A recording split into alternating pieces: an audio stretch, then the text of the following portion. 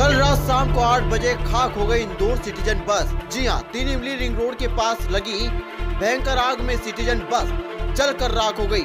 वहीं आपको बता दें कि पत्रकार शेख मुबीन ने बताया कि मामला तीन इमली रिंग रोड के करीब पेट्रोल पंप से 150 फीट की दूरी का है, जहाँ पर सिटीजन बस में आग लग गई। वही बताया जा रहा है कि किसी को कोई हानि नहीं हुई। वही मौके पर दो फायर ब्रिगेड की मदद से आग पर काबू पाया गया। नहीं तो कोई बड़ा हादसा हो सकता था। न्यूज़ इंडिया नाइन से सादिक खान की रिपोर्ट।